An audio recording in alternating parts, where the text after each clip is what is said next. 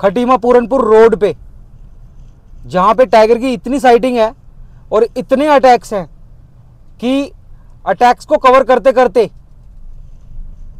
शायद हम थक जाएँगे, लेकिन टाइगर नहीं थकेगा अटैक करते करते।